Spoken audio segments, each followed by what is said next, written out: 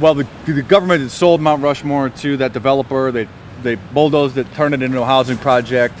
Was that too soon of a move, or is that a preemptive measure to make sure that we don't default on the debt? What do you think?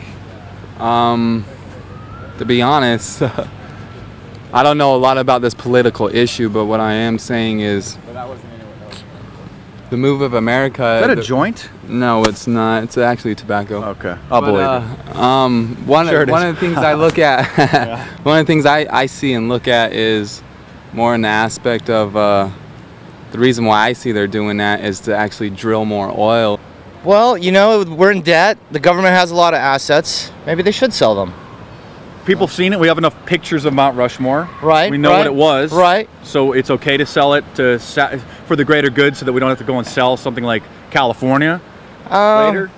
You know, I don't think Mount Rushmore was probably the best, you know, sales purchase or, Uh-huh. s- you know, the best. Sale to the developer. Right. They, may- maybe be they should torn have down. sold some parks somewhere in D.C. or something. It I- yeah, that might know, have been something better. might have been better. Not maybe nothing as as momentous as Uh-huh. Mount Rushmore. Yep. That's pretty bad, man. I love Mo- Mount Rushmore. Yeah, they they, should to- keep it. Well, they tore they tore it down to uh, build a housing community because there's not enough houses for anybody in the area anymore. There's plenty of room over there. Do you think they did the wrong thing? I mean, Yes. should they have maybe preserved Mount Rushmore as Of like a course. federal park or a monument to prevent it from being torn down and turned into a housing complex? Of course, of course. We're talking about Mount Rushmore getting sold to that developer and torn down and bulldozed and turned into I a- think the billionaires in America should bail out the government. We the people, for the people, by the people, and constitute the United States that we live in and become a Okay, greater so people. that's what they're doing then. So your your support selling Mount Rushmore to the billionaires to give them however many billion dollars it was for the national monument from the private investors. I think we should go so back that was to okay. the roots. Yeah, I don't know. I would try to stay out of all the conspiracies and all the politics. That's not me.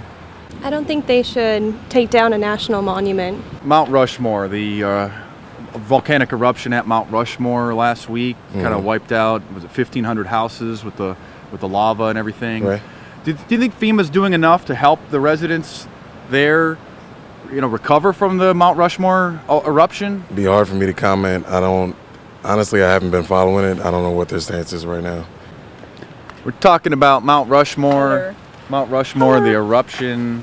Um, a lot of people are saying that FEMA should have helped the residents of Mount Rushmore evacuate before the volcano erupted. You have any thoughts on that, or I mean, are they just spread too thin with everything else that's going on? I gotta go pee. You gotta go pee. Sorry. Okay, you have a good time.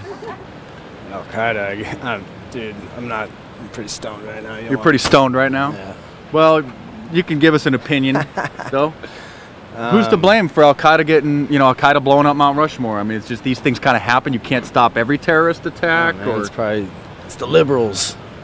It doesn't really affect me. it doesn't affect you. no, it doesn't really affect so me. you don't care about the poor South Dakotans having to evacuate and their houses being guess- burned with the lava. I guess they'll have to figure it out. They'll have to They'll figure it out. then. okay, I'm sorry for those. That's okay. Those poor people, right?